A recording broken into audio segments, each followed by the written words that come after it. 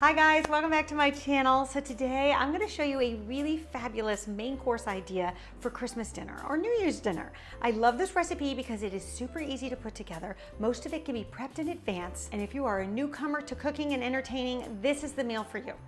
Okay, so this dinner is meant to serve six people. So roughly you wanna gauge about a half a pound of beef per person. And I am working with the Chateaubriand cut, which is the center cut. I like the Chateaubriand cut because it's all the same size, you get beautiful slices, and it's all done at the same time.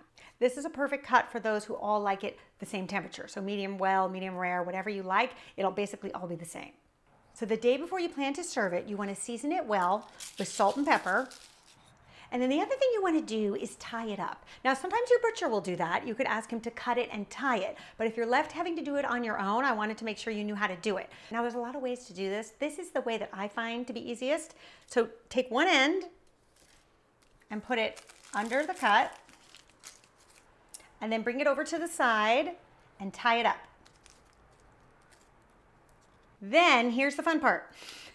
Take two fingers and give yourself a little loop there, right? You're going to go under and then you're gonna go through this little loop here. Okay, so we had our loop and now we're going through it. Then once you go through the twine, you can pull it so that it's taut.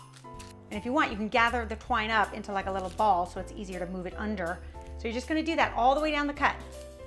There, and then once you get down to the end, you can just snip it off and tie it to the last rung there. It's one of those things that at first might feel a little bit intimidating, but once you try it and maybe rewind the video and watch me do it twice, you'll feel very accomplished once you get it done.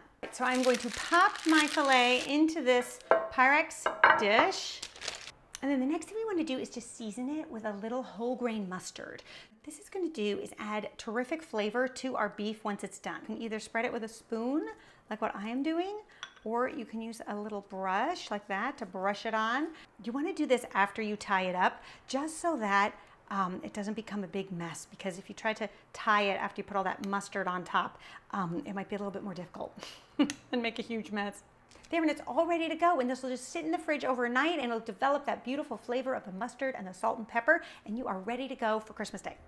Then on Christmas Day, get out your roasting pan, and then you can also set out your beef, allow it to come to room temperature, so 30, 45 minutes or so. That'll just help it cook at a more even rate once you put it in the oven. Then I have three pounds of these beautiful Yukon Gold potatoes that I've peeled. And this is another reason why I love this recipe is one of our side dishes is going to bake with our roast. So they're going to be done at the same time. Okay, so once you've got your potatoes peeled, go ahead and cut them in half and I do this because they'll cook quicker that way. And also when you have a cut end, that's going to allow it to kind of get all nice and brown and crispy when it roasts in the oven. And then we're gonna drizzle with a little bit of olive oil just so that they get nice and crispy as they roast. And then you're going to season with a little salt. Potatoes just drink up the salt, so you can be liberal.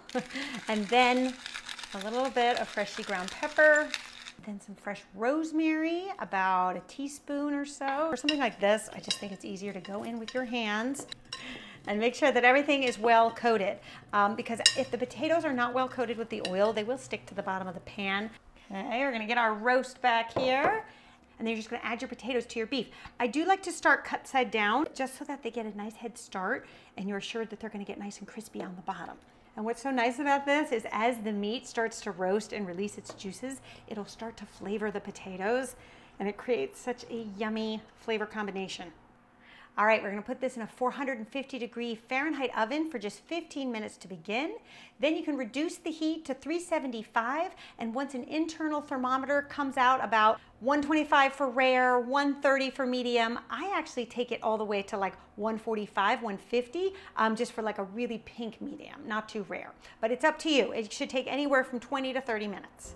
Okay, so my beef is just out of the oven and allow it to rest for at least 15, 20 minutes, okay? It's gonna keep warm because it's such a big piece of beef um, that'll take really a while for that to cool down and we're gonna keep some foil over it.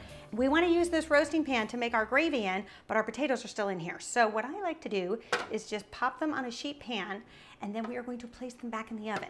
Now, if they're done to your liking, you can just keep them warm. I like to get them a little bit crispy, so I keep them at the 375 temperature while the meat is resting. And it actually times out perfectly because once the gravy and the beef are ready to go, the potatoes are ready to go.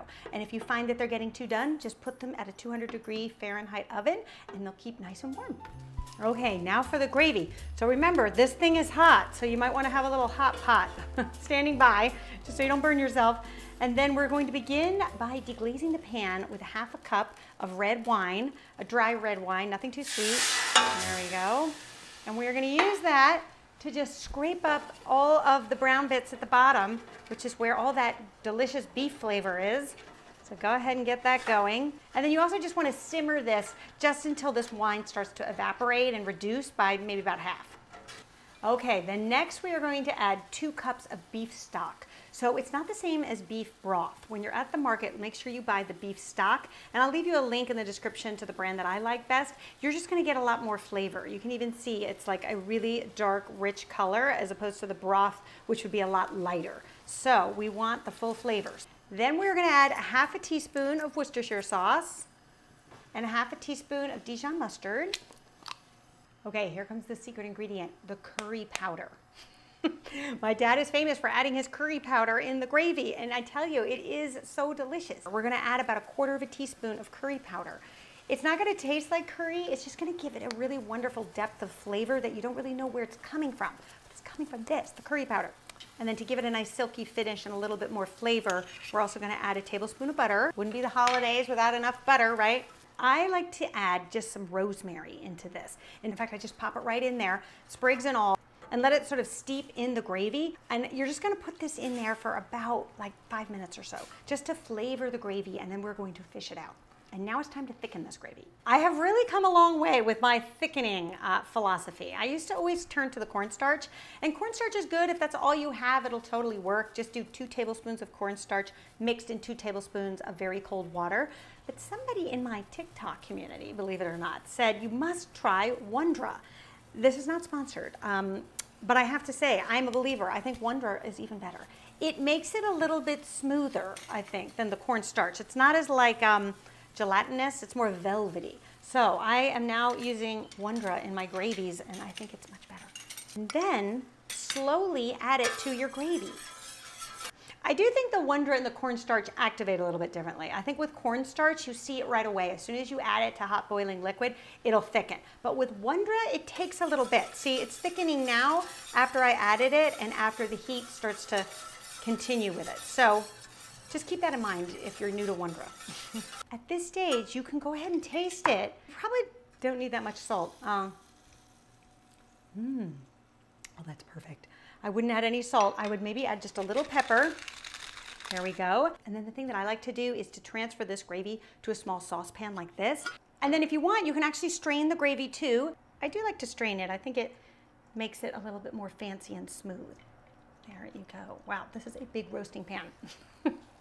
You can put your lid on and just keep it at room temperature until you're ready to serve. Okay, now for a green vegetable, because the meat and the gravy and the potatoes are so heavy, I like to serve something that's green and crunchy and crisp and a little bit refreshing, just to balance out all the flavors. So while your meat is resting and your gravy is at room temperature, which you're gonna heat up right before you serve it, you can get on with making these French green beans. And it's super simple to do. Add two tablespoons of unsalted butter. There you go. And then once that starts to look nice and foamy and melty, you can add your shallots. So I have one shallot that I've minced, probably about a third of a cup.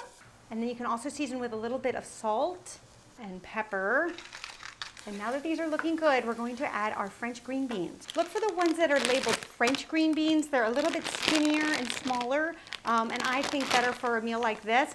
I also go for the ones that are already trimmed, already washed, and in the bag. because at the holiday time, you usually can find it, and it'll just save you a ton of time and stress.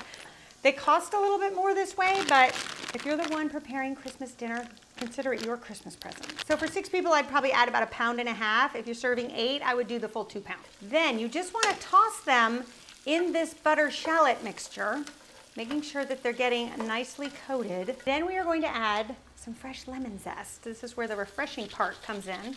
I would do about a half a teaspoon or so. For a little fresh herb, I like to do about a tablespoon of freshly minced tarragon. I love to cook with tarragon in the wintertime, especially around the holidays. It's such a fresh, fancy flavor that you're not really used to, kind of like in every night cooking. Um, so I think it just adds a little bit more festivity to the occasion. If you can't find tarragon, you could also use fresh thyme. That would work too. And then you are going to cover it and let them sort of saute and steam at the same time until they become nice and tender. So this works out perfectly because you can get this on low, carve your meat, heat up the gravy, and then get it all arranged, and then the last thing to bring to the table would be the green beans. And you will have one fabulous holiday dinner. I hope you guys give this one a try and let me know what you think. And next week, I'll show you the super easy and totally delicious dessert that's going to go with this menu. Until then, bye.